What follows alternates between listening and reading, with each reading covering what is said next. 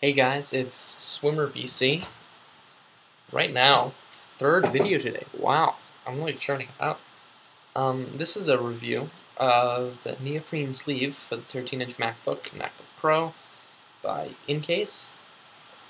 On the whole, it's a fairly good product. It's made out of the same material that wetsuits are made out of. Um, it's a fairly common material for laptop cases. It's got this kind of rubbery material on the outside, two very nice zippers. See, um, they're pretty high quality. And on the inside, it's a nice fox fur, kind of white. It's very soft. It's not going to get scratched. Don't need to worry about that. Nice little logo here. Um, I've been using this case for a year. So far, I've had no problems other than my cat peeing on it, which I solved by washing it, but still I got a new case. I don't want to have to deal with that.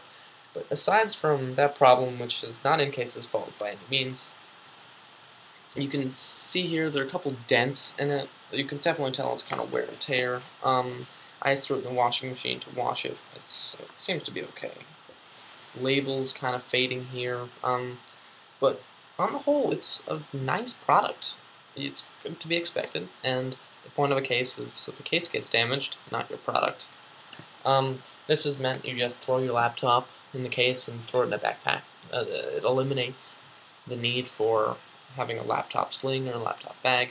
I also like it because it's a lot less flashy. I don't like bragging that I've got a big Apple laptop. Steve Jobs didn't help that at all. When um he put the Big Apple logo on the front. Here's the packaging it came in. It's kind of very simple. Just kind of slide it out. They say it works with airport security here, but meaning you just have to put this thing and not take the laptop out on the X-ray, but I haven't found that to be the case.